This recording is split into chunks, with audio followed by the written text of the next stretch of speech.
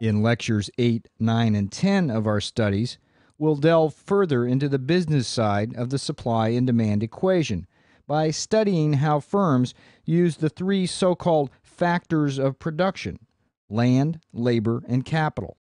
These factors are the three major inputs into the production process, where the final goods and services that are produced are called the outputs. A study of the labor market will help us come to understand how wages are determined, while an analysis of the capital markets will help us come to better understand how to evaluate the profitability of investments such as those in new plant and equipment.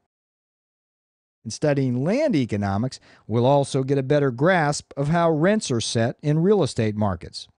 Along the way, we'll acquire a number of very important analytical tools Concepts like net present value and rate of return that will be of enormous use to us in our business and personal lives.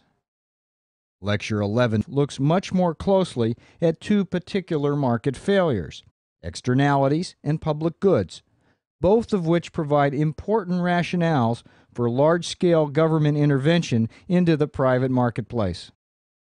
You can see then from this overview that we have a lot of work to do but it will be very good work because it will serve you very well. In economic terms, I can guarantee you that the time you put into the study of this subject will yield a very high return in both your personal and professional life.